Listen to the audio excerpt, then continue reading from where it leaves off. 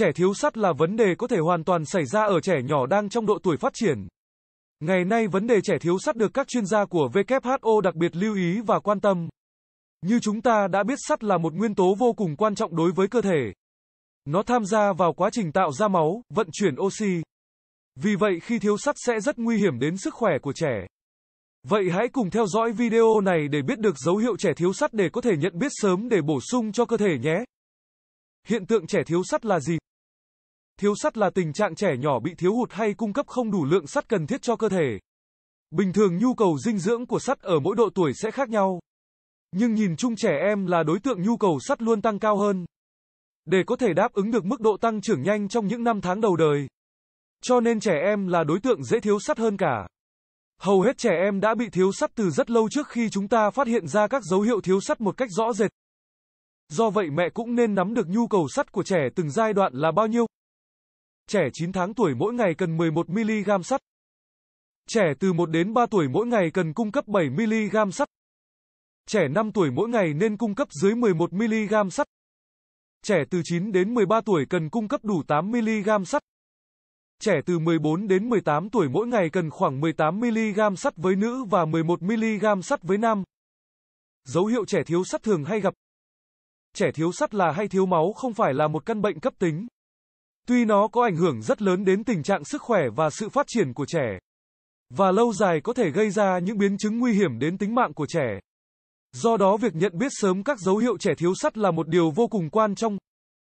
Do đó mẹ có thể nhận biết dấu hiệu trẻ thiếu sắt qua các tín hiệu như trẻ mệt mỏi, thường xuyên có các dấu hiệu mất tập trung hay suy giảm khả năng học tập của trẻ. Da mặt trẻ xanh xao, cùng với niêm mạc nhợt nhạt, trẻ bị mất vị giác, móng tay cũng bị khô và dễ gãy. Trẻ thường xuyên có hiện tượng đau đầu chóng mặt, nhức đầu do việc thiếu máu dẫn đến thiếu oxy lên não nên dẫn đến tình trạng như trên. Trẻ cũng có thể cảm thấy tức ngực và khó thở do trẻ cố gắng để hoạt động hay gắng sức hoạt động. Do lượng hemoglobin không đủ để giúp cho việc vận chuyển oxy đến các tế bào. Tim đập nhanh là một dấu hiệu của trẻ thiếu sắt. Nếu trẻ không được điều trị kịp thời có thể dẫn đến suy tim. Ngoài ra, nếu mẹ có những nghi ngờ về trẻ có những dấu hiệu trẻ thiếu sắt thì có thể đưa bé đến bác sĩ để được thăm khám để hỏi về nguyên nhân hay cách điều trị. Nguyên nhân trẻ thiếu sắt Hầu hết nhu cầu sắt của trẻ sẽ tăng dần lên từ tháng thứ tư cho đến khi bé 5 tuổi. Trừ trường hợp trẻ sinh non hay trẻ mắc bệnh lý về không thể dung nạp và hấp thu được sắt. Do bổ sung thiếu mà nhu cầu lại tăng lên. Khi bé 4 tháng tuổi bắt đầu hàm lượng sắt trong sữa mẹ không còn đủ để cung cấp cho con nữa. Trong khi đó trẻ 4 tháng tuổi có thể chưa sẵn sàng với việc chuyển sang chế độ ăn dặm để bổ sung dinh dưỡng sắt từ bên ngoài vào.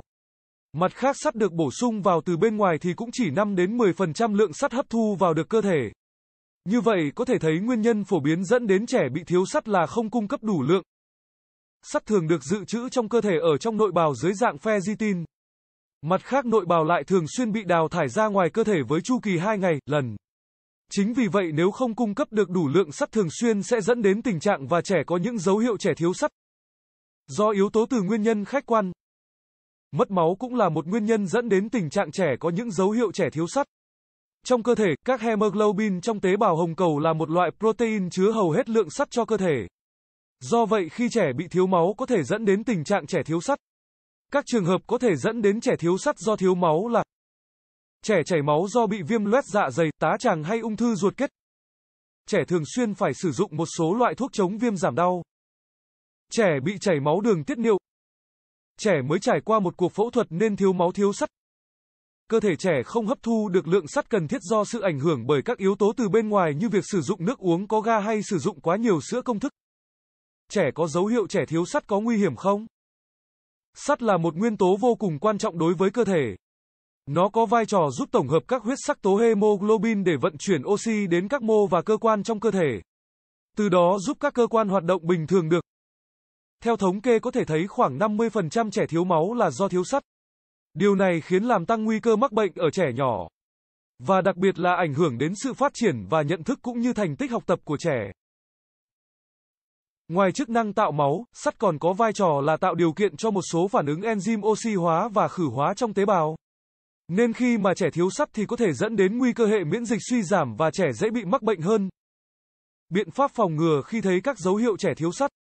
Thực đơn cho trẻ thiếu sắt. Để phòng ngừa các dấu hiệu trẻ thiếu sắt, thì mẹ nên bổ sung cho trẻ các thực đơn dinh dưỡng giàu sắt như thịt đỏ, gà, cá. Các loại rau chứa sắt như rau bina, rau xanh lá đậm. Các loại đậu như đậu xanh, đậu phộng. Bên cạnh đó mẹ cũng nên cho bé ăn các thực phẩm giàu vitamin C như các loại trái cây cam, quýt, dâu tây, cà chua. Bởi vì vitamin C sẽ giúp cho việc hấp thu sắt tốt hơn. Đồng thời mẹ không được cho bé lạm dụng uống quá nhiều sữa. Bởi canxi trong sữa có thể làm ức chế khả năng hấp thu sắt, làm trẻ bị thiếu sắt. Khi thấy trẻ có những dấu trẻ thiếu sắt, mẹ nên cho bé đi khám để có những xét nghiệm chẩn đoán chính xác hơn. Một số phương pháp điều trị cho trẻ có những dấu hiệu trẻ thiếu sắt là Giai đoạn nhận biết sớm các dấu hiệu trẻ thiếu sắt nhưng trẻ không đến mức thiếu máu. Mẹ cần bổ sung sắt cho trẻ qua chế độ dinh dưỡng có chứa sắt. Khuyến khích sử dụng thuốc bổ sung sắt cho trẻ dưới dạng viên uống hoặc thuốc uống nhỏ giọt. Hạn chế truyền máu, chỉ định sử dụng sắt đường truyền tĩnh mạch trong các trường hợp khi có sự chỉ định riêng của bác sĩ. Đó là các dấu hiệu trẻ thiếu sắt cũng như các xử lý khi gặp tình trạng này ở trẻ. Chú ý bổ sung sắt cho trẻ tránh tình trạng bổ sung quá thừa cũng gây ra những vấn đề nguy hiểm khác. Chính vì thế mẹ có thể đưa bé đi khám để được đánh giá chính xác và điều trị đúng.